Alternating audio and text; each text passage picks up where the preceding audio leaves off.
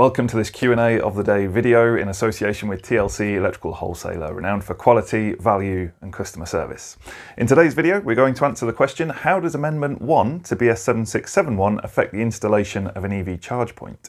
And to help us answer this question, we're going to head over to Lineside Studios, where Gary is with Dr. Chris Horne of myenergi, the creators of the Zappi charger, who's going to help to explain some of those key points to us. Over to you, Gary.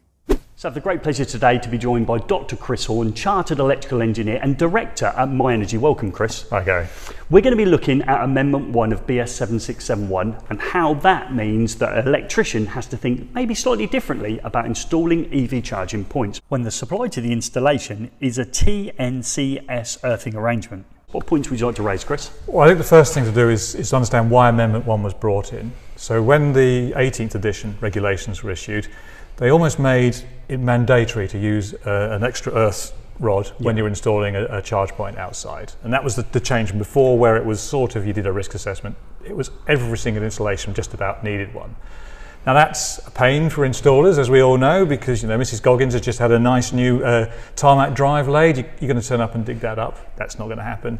Uh, you've got buried uh, services you've got to avoid. You've got to make sure the earth rod is uh, installed in accordance with the regulations, which can be a nightmare in its own right. So, real nightmare for for installers. So yeah, under the 18th edition, we were going around when we stabbing these earth electrodes in, hoping Carefully to yeah, sorry, hoping to miss those services underneath. Yeah. However, and I think when Amendment One came in, it was the bit that I focused on. You know, probably most about that change. There was a big change with the earth rod then, wasn't there? It, it was. Yeah. In Amendment One, the IET were trying to help the in industry help get more charge points installed, promote couple electric vehicles. So why make it difficult yeah, if we good. can do it safely other ways? Yeah, makes sense. Um, so Amendment 1 was consulted on and issued, and it really gets to the point where an earth rod is not the norm, it's, it's the exception now that you need an earth rod.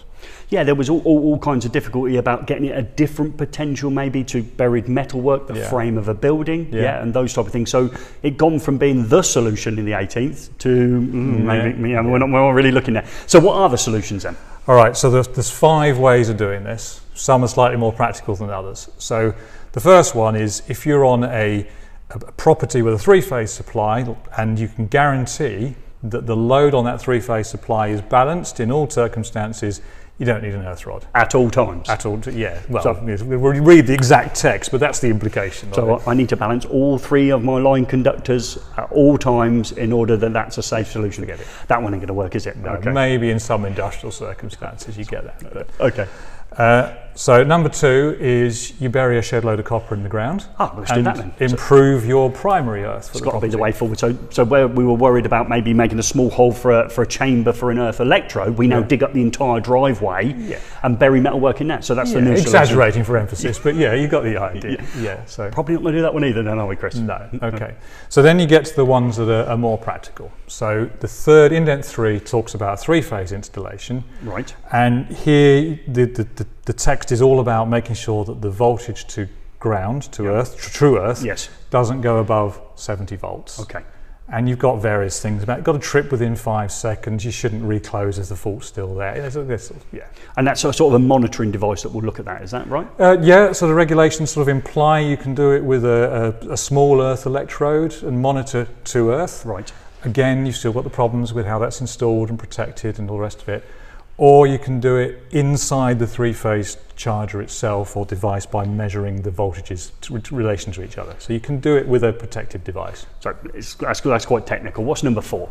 Uh, number four, well this was the one for uh, single-phase installations. Uh, so here you're taking your cable, you're extending your earth outside the property on a single-phase uh, charger and here it was a real simple test. What's the measurement between the line voltage and the neutral? Yes. And if they go outside of a certain range, yes, uh, 207 to 253 volts. Is that 10% either way? 10% of 230, exactly. okay. If it goes outside that range, then you've got to trip the output and you've got to isolate your line neutral and earth conductors. Okay, that sounds a little bit more simple maybe for the, the electrician to understand. So it's got a voltage parameters. If it stays within them, the device yep. is, is okay. When it drops without them, it's suggesting there's a pen fault. Yeah. And the device will disconnect all live conductors and the protective conductor? It is, yeah. Okay, so that's indent four. Yeah. What's indent five? So indent five was all about the IET want to promote innovation. They don't want to just write a standard and people continue to create that If you can do it in a safer or more cost effective way, they want to promote that. And Indent 5 basically says if you can make the installation as safe as you would with Indent 3 or 4, Yeah. then you can do that using modern state of the art technology. So it's, it's allowing manufacturers uh, to and entrepreneurs, you know, to come up with new ways of doing things that make it cheaper and easier to install EV charge points and safer, strictly. Yeah. So Indent 5 is the one maybe that eFIXX would love that phrase, making electricians' life easier. Yes. They've left that indent in there because they believe that technology would have would have caught up with the ability to make the installation safe. yeah, and potentially safer because Safer, like if we look at three and four in a bit more detail, you can see where there are gaps in the rules which could still leave you with a, a voltage above 70 volts for potentially a long time, which could cause injury.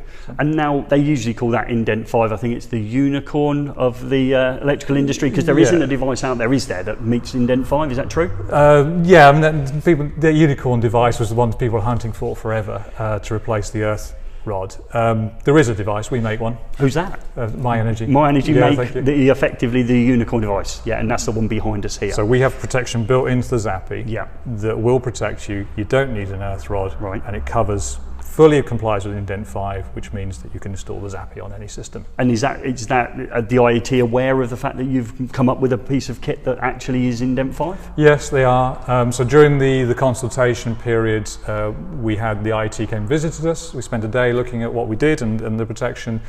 Um, you know, the IT won't declare Okay. that a device is one way or the other. They will just listen to the state of the art. But after that meeting with them, the amendment was extended and ident 5 was added, allowing us to use our technology as we, we you know, we're very happy to do.